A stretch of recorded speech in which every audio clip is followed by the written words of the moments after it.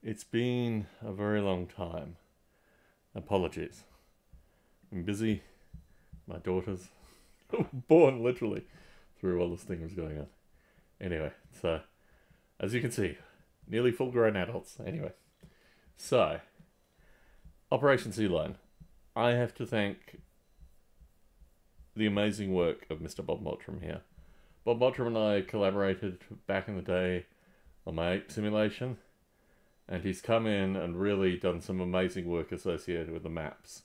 So, Bob is, you know, let's have a look at the the commitment tree more than anything. Bob has been working on this thing absolutely tirelessly, and really, this project wouldn't exist now if it weren't for Bob. So, basically, this is associated with map analysis, creating JSON files. I've done a little bit of work.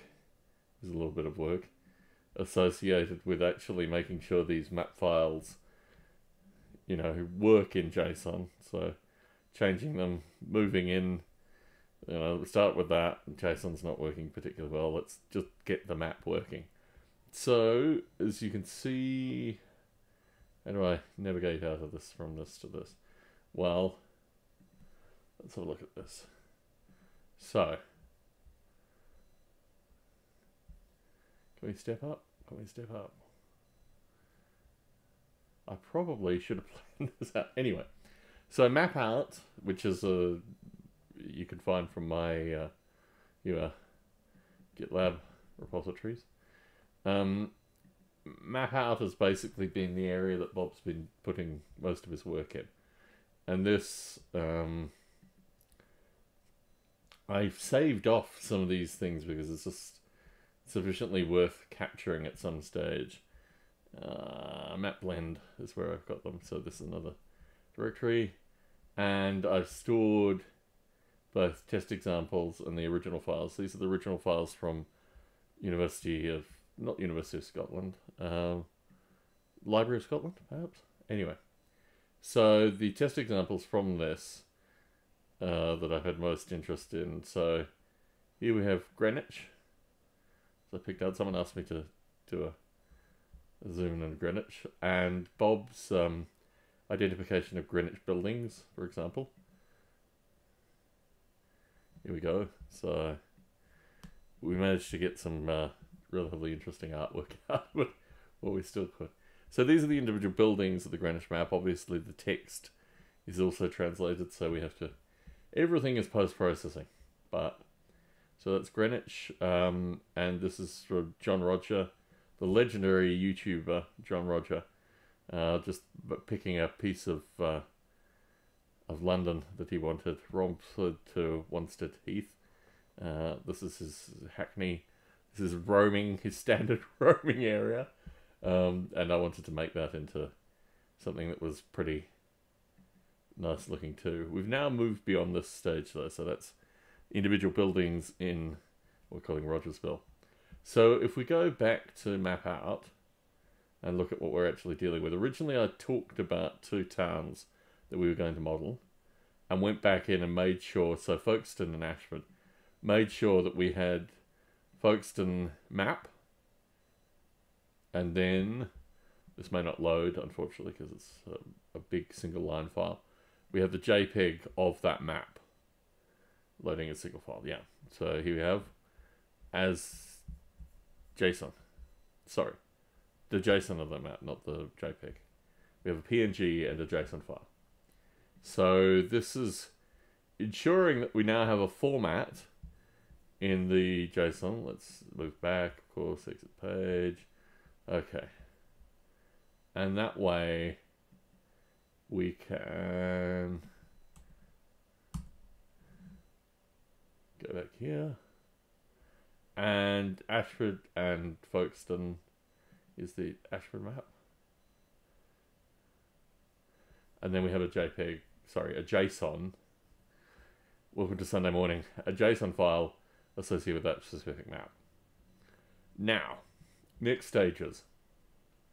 Now with this format, and this format is quite complicated actually. Uh, Bob really was just looking to get a format as close to what the map specification was rather than the level of detail that we actually needed. That's where it complains bitterly.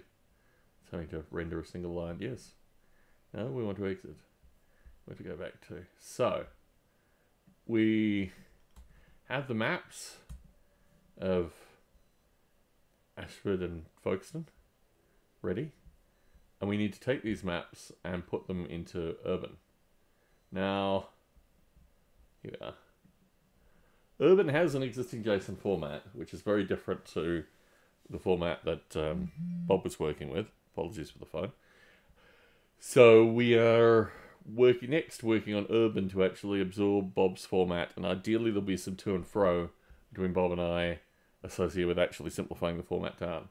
Because the format as it is currently is um, very much designed around. Here we go. Let's pick up the format. Open recent acid. Okay.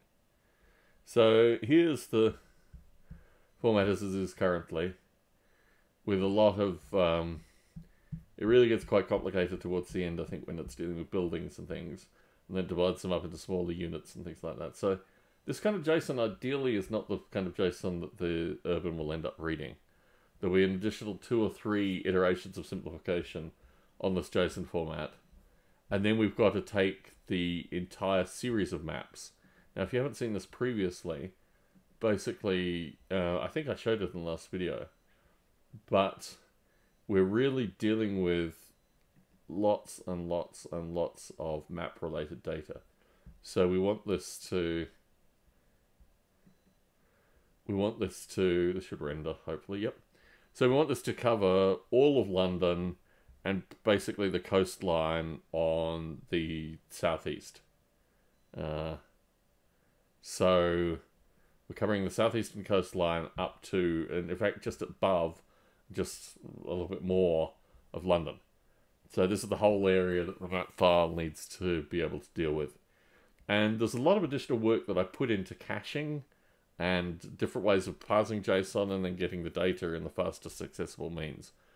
And we're sticking to that. We I kind of decided that we are maintaining uh, JSON uh, integer caching from the original code, and the file format needs to be around that. So the files that are available in uh, MapOut are actually files that are closer to the format than the stuff that Bob is outputting. Only a couple of minor changes between what Bob is outputting from the maps and what I have um, in these files. But these files are all readable by the Ape SDK with the integer changes, so these JSON files. And moreover, I've actually put them in the Ape SDK, which means that if anything, if anything associated with the file format breaks, then we'll have Ape SDK around it. So, for example, this is hard to find, but in the test directory, if you find last updated, oh, kind of doing, doing that maybe. Anyway, eh, they're not really doing that at all. Okay, so there should be two news. Uh, where are they? Two news. Here are New Folkestone, New Ashford. So these are basically always being compared with the Ape SDK, so the Ape SDK doesn't break for these file formats. So that I think is the update. It's been quite a bit of progress.